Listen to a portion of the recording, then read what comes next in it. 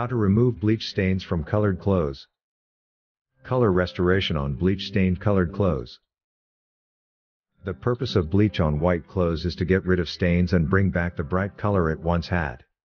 However, bleaching dark clothes leaves them spotted. The spotted area is the one we will be fixing. And fixing it means restoring its original color. So how do we do this? Neutralize the bleached area first if there is still excess bleach sitting on it. You can do this by 1. Blot the area with a paper towel or any absorbent towel. 2. Soak the spotted area in cold water. 3. Create a paste from mixing baking soda and water. 4. Spread the paste on the area where the bleach stain is. 5. Allow it to dry. 6. Take off the dried paste and rinse the spotted area. After doing the steps above, the next action will depend on whether the spots are small or large. Removing small bleach stains. When dealing with small bleached spots, you can use rubbing alcohol, gin or vodka. No matter the types of alcohol available, the same steps will apply. 1. Moisten a cotton ball with rubbing alcohol, gin or vodka. 2.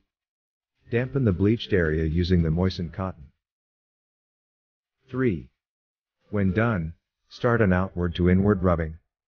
The cloth has to be moist throughout the process to make way for the transfer of color. 4. Continue rubbing until the bleached spot and the unbleached place of your clothes are blended together. The rubbing alcohol, gin, or vodka will enable the color to spread and restore the color to the whole area. Instead of seeing small bleached spots, you will see more pleasing and less distracting clothes. Removing large bleach stains. In the case of large bleach spots, you can use sodium thiosulfate. You can find this chemical in your local hardware stores. Some pet stores also sell it. Follow these steps to get rid of large bleached spots. 1. In a bowl, prepare a solution using a tablespoon of sodium thiosulfate for every cup of water. 2. Mix thoroughly until the sodium thiosulfate is completely dissolved.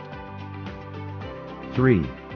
When the mixture is ready to use, get a clean cloth, of any color, or use cotton balls.